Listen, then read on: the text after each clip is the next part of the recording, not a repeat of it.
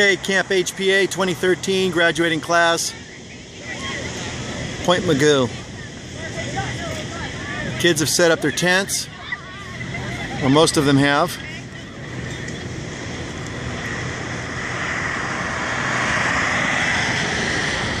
How you doing?